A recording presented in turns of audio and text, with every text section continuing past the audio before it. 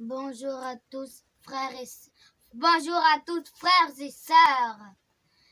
Aujourd'hui, je vais vous expliquer l'amour intérieur et l'amour extérieur. La beauté intérieure compte, mais la beauté extérieure ne compte pas. Elle ne compte pas du tout, parce qu'il ne faut juger, il ne faut pas juger les gens sur leur apparence, mais sur leur cœur. Si leur cœur est bon, il faut, il faut les aimer.